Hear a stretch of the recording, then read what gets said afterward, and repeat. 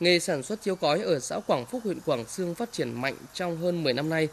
Cả xã có 220 máy dệt chiếu, quân bình một ngày sản xuất được trên 5.000 đôi chiếu. Nhờ ứng dụng công nghệ, cải tiến mẫu mã nên sản phẩm chiếu của xã có giá cạnh tranh cao, thị trường sản phẩm mở rộng trên toàn quốc. Trong tháng 3 năm 2022, sản phẩm chiếu cói Quảng Phúc đã được công nhận đạt chuẩn ô cốp 3 sao cấp tỉnh. Việc công nhận sản phẩm ô cốp là điều kiện để xã xây dựng thương hiệu cho sản phẩm chiếu cói Quảng Phúc, nâng cao giá trị thu nhập cho người dân. Hợp tác xã chúng tôi thì chúng tôi cũng có đi à, đến các cái địa phương chẳng hạn như Thái Bình rồi các nơi để chúng tôi gọi là là là đặt ừ, các cái đơn vị người ta đặt cái sản xuất ờ, sản phẩm và chúng tôi là những đơn vị là, là trực tiếp là cung cấp cái sản phẩm cho các cái đơn vị ở tỉnh ngoài. Hiện nay, huyện Quảng Sương có 550 hecta đất trồng cói tập trung ở các xã Quảng Phúc, Quảng Trường, Quảng Khê, Quảng Long, Quảng Ngọc và Quảng Văn.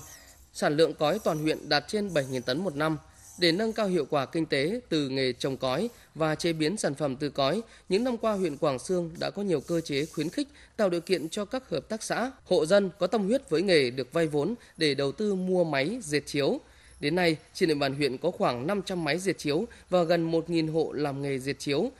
Sản lượng sản xuất hàng năm đạt khoảng 3 triệu đôi chiếu các loại. Được uh, hợp tác xã tạo điều kiện cho thì ta làm thêm thu nhập văn tháng cũng được từ 4 triệu rưỡi đến 5 triệu để tạo thêm ờ, điều kiện cho gia đình không phải đi làm ăn xa.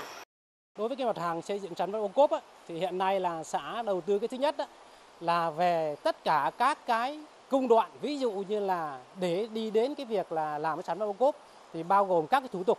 chúng tôi đấu mối với lại cái uh, trung tâm uh, tức là xây dựng nông thôn mới của tỉnh của huyện á, để rồi tạo điều kiện hỗ trợ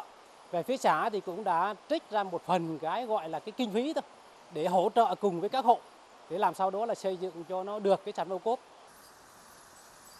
Trong giai đoạn 2022-2025, huyện Quảng Sương tiếp tục chỉ đạo các xã làm nghề chiếu cói quan tâm xúc tiến thương mại nhằm tìm kiếm thị trường tiêu thụ sản phẩm. Đồng thời, huyện tạo điều kiện để các hộ được vay các nguồn vốn ưu đãi, đầu tư, mở rộng sản xuất, xây dựng cửa hàng trưng bày sản phẩm, hỗ trợ đầu tư hạ tầng vùng trồng cói, đào tạo, nâng cao tay nghề cho lao động làng nghề cói,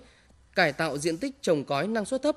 mở rộng vùng trồng cói để đáp ứng nguồn nguyên liệu cho các xã có nghề sản xuất chiếu cói tại huyện Quảng Sương.